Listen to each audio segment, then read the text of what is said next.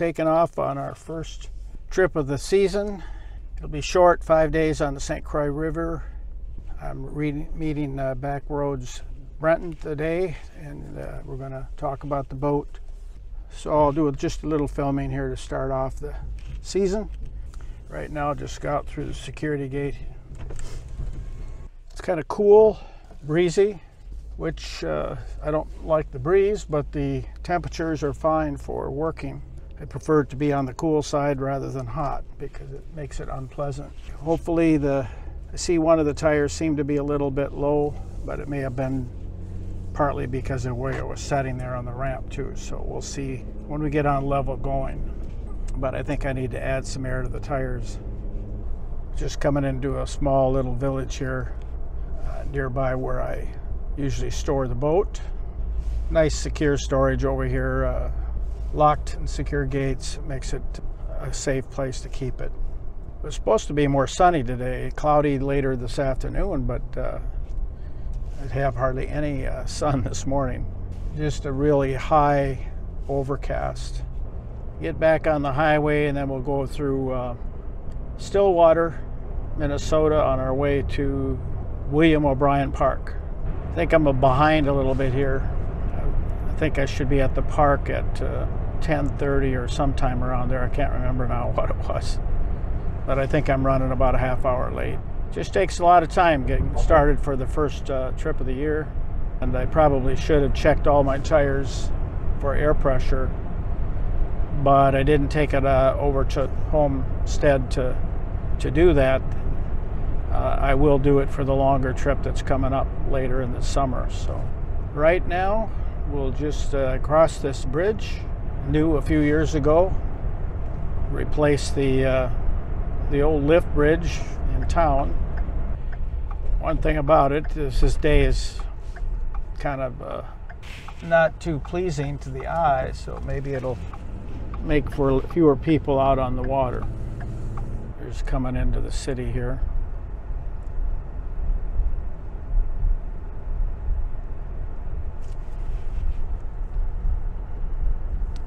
Some of the river boats that go up and down. And, uh, my daughter was married on one of those. You see the lift bridge out there.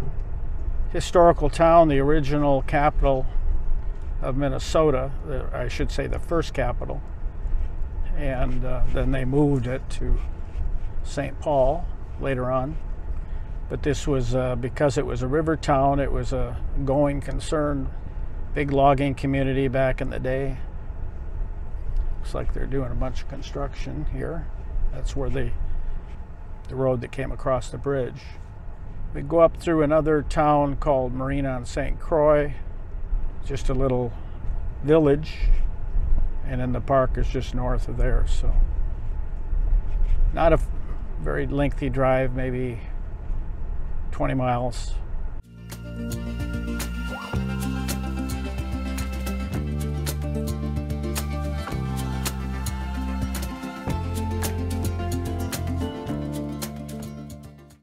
Everything so far seems to be working. Camera, rear camera on the boat is working. That helps me be able to see behind the boat to see if I've got traffic or somebody that's trying to get by me. Had a flat on this uh, rig on the trailer, right hand tandem, right rear tandem tire. And that was the one that looked a little low to me. I don't know if that new tires uh, didn't get pumped up high enough or what, but Marine on St. Croix, 10 miles, and the park's about uh, another five beyond that. So this St. Croix boom site that used to be where they obviously collected the logs to go to the mill back in the day. Forget what year Minnesota came, became a state, but uh, it was one of the later ones. Just have one truck behind me. We're just kind of following along the river here right now. You can see a little bit of the river maybe down below there to the right, but beautiful spring day.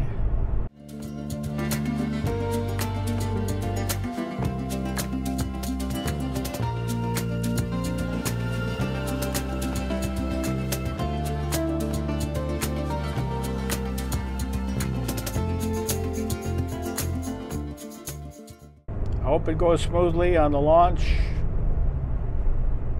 And I remember everything. I already put the plug in, so I make sure I don't forget that. That's always a big concern. I don't know why, but the engine seems to have a lot more power.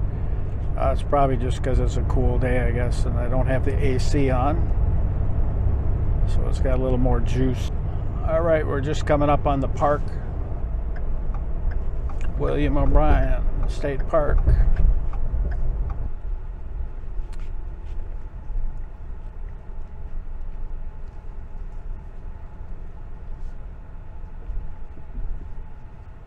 Going down to the launch area.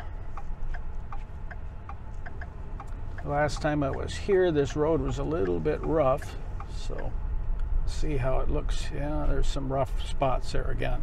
We got to be careful there.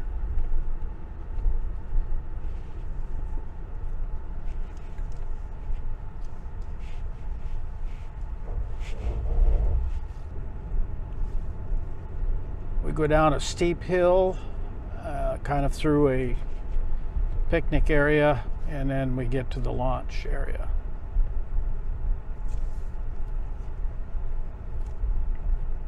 Be curious to see how many boats are down here, if, or if any. Still a fair current in the river, but shouldn't be too uh, bad. I expect a few fishermen will be out, but.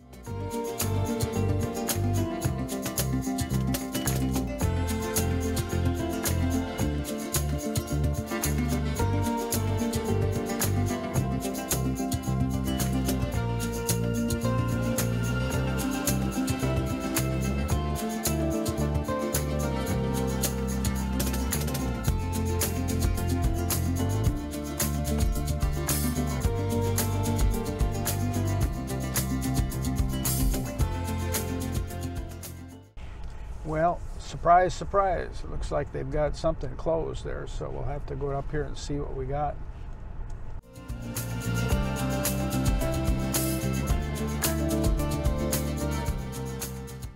Brenton, thanks for coming down and doing the interview. Absolutely. And we hope that we'll see more of your videos online as well.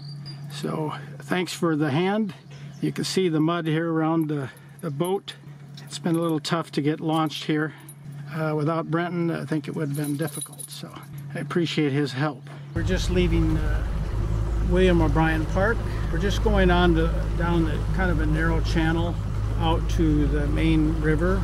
So far, it seems to be pretty deep because of the flooding. That helps. It's been a full afternoon. It took me quite a while to get launched, uh, boat ready, about an hour and a half and then another half hour or so to do the launching. But uh, Brenton and I talked for a couple of hours actually, so it took a while before we got time to get around to getting the boat in the water. And then there's no dock here, so it's difficult. So here we go with the trying to talk with me. I can't keep my camera up, up, trying to stay, keep myself from going around here got a little sun. I'm going to try to go up into some backwaters here and see if I can find a place to anchor. I don't want to go very far today. I'm kind of worn out. With, been up since 4.30 this morning. And it gets to be a bit long. 12 and a half feet. I'm going to try to cut through this pass. I don't know if I can do that, but I'm going to try it. When we get out here, I'll flip it around here so you can see. That's the main river out there that you can see ahead of us. See some debris piled up by that tree, so a little bit of a sign of the flooding that took place. Hopefully the mic is picking up the video.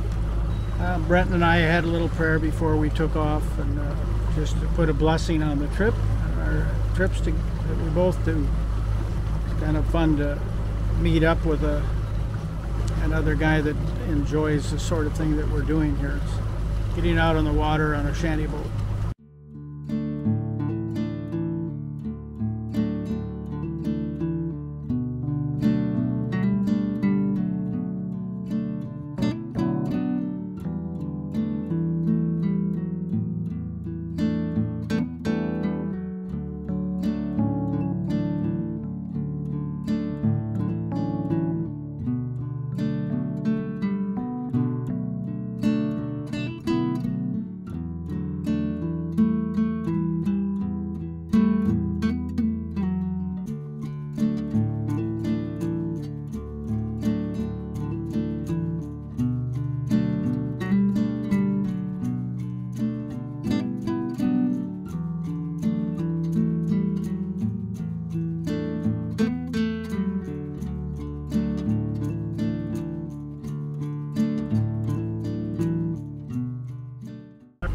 Talking too much because I was we're going through a real shallow area here and I got to pay attention to where I'm going.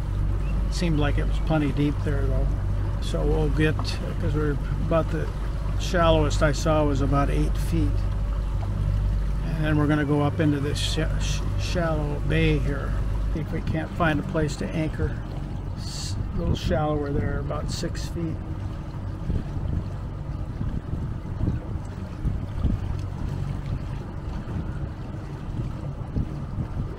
Get out of the current. and I won't need to worry about that so much. Current doesn't seem to be too bad though. Alright, let's see what we can find up in here. It's getting shallow fast. Five feet here now.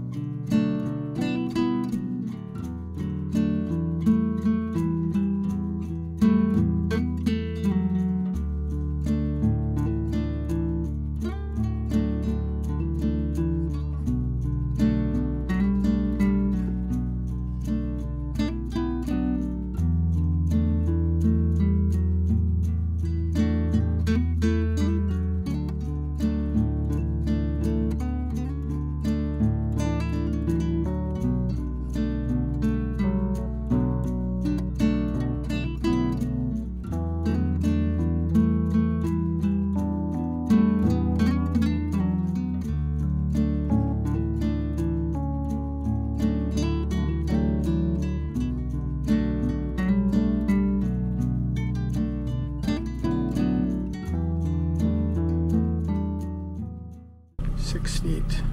There's a boat, so see a little boat there. So we'll go down a little further.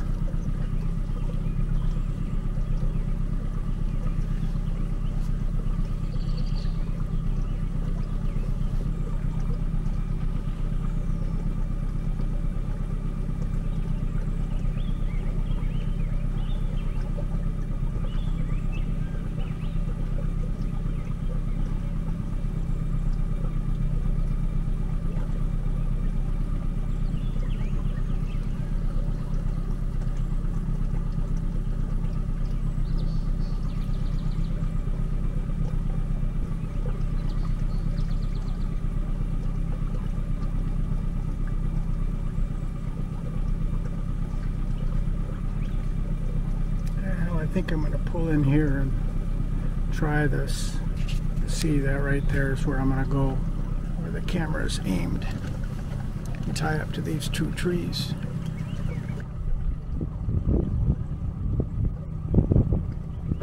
All right, we're backing up.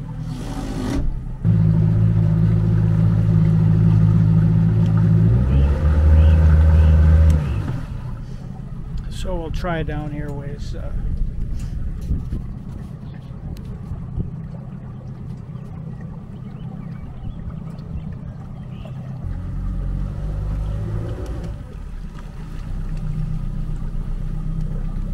see what we got down here ways. We'll just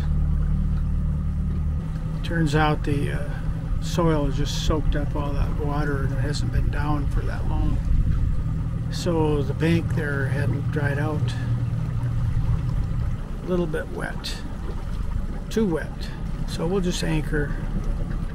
Just trying to get down here a ways. We're behind kind of behind the bluffs and protected eight feet here, so it's plenty deep. It looks like pretty much grassy bottom. This is where I'm going to go. Although I could go around the corner a little bit, I guess, and try that. Kind of hungry. I should have had something.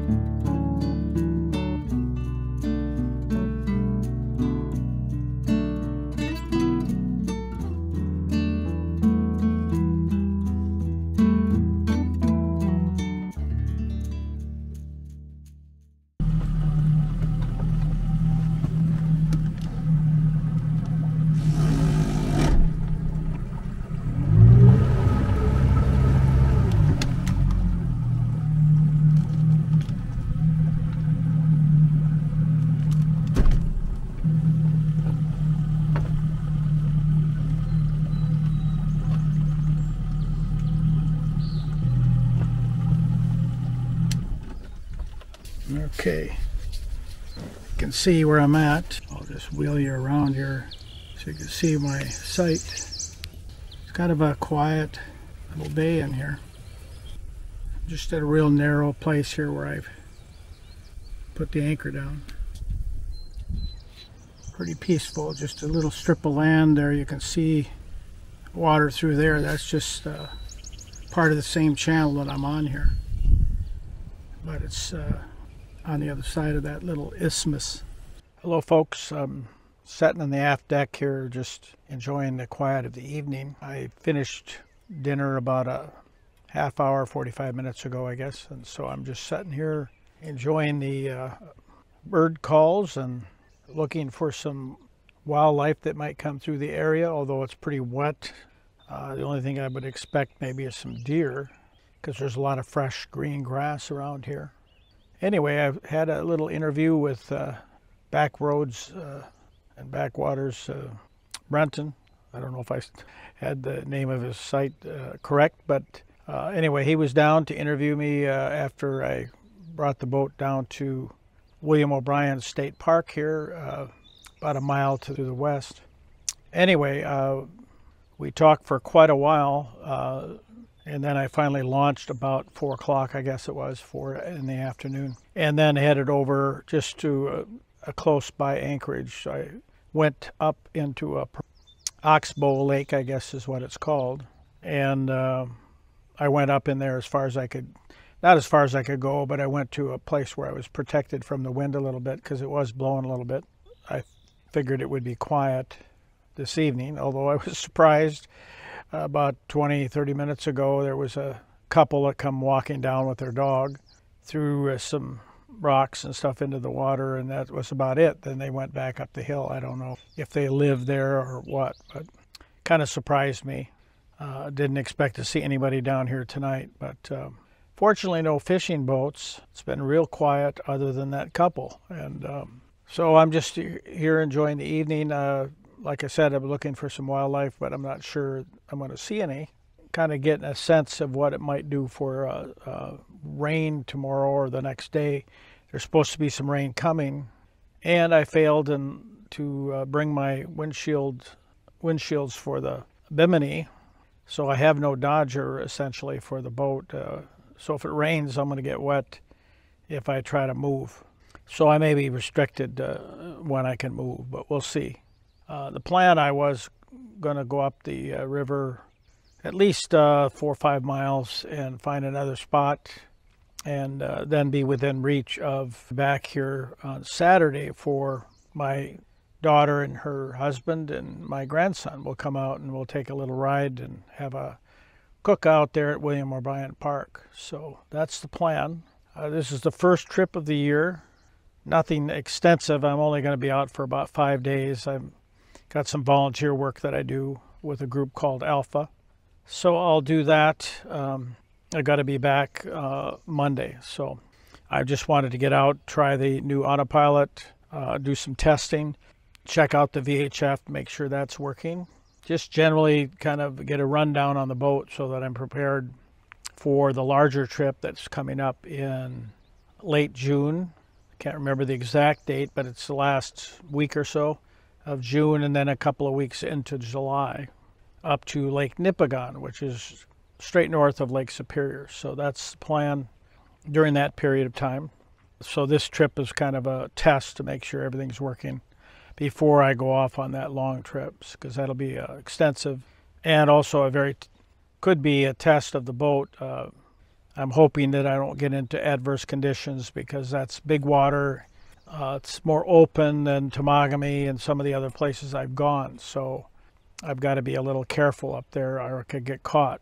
This boat cannot handle any big waves. Anyway, that's the plan, and uh, I haven't seen anything. I thought I might see some eagles. There should be bald eagles along this river, but I'm not seeing anything uh, since I got here, and I've been here about, oh, at least a couple hours now. Anyway, we'll talk to you more tomorrow after we get a, a good test of some other things on the boat, and we'll check back with you then. All right. There's a little small boat that went by, about a 14 foot aluminum, and three people in it fishing, I suppose. I'll pan around But here shows a little bit the area that I'm in.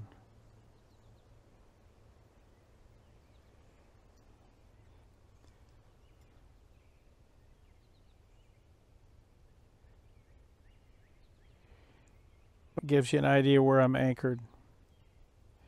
Right in that area is where I saw the weasel earlier. Tried to get a picture, couldn't get him.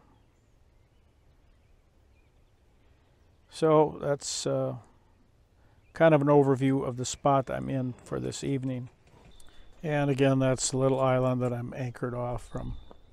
Scoop it down here, you can see the top of the boat. I wasn't, I was hoping I wouldn't get interrupted, but so far I've had one couple come down and now one small fishing boat. So more activity than I anticipated. Here's uh, what the post looks like if I put it out on the 45 degree angle. It seems to work okay. So if I'm heading down the river, that's what the view would be. We'll give that a try in the future and see how that works out. That's enough for tonight.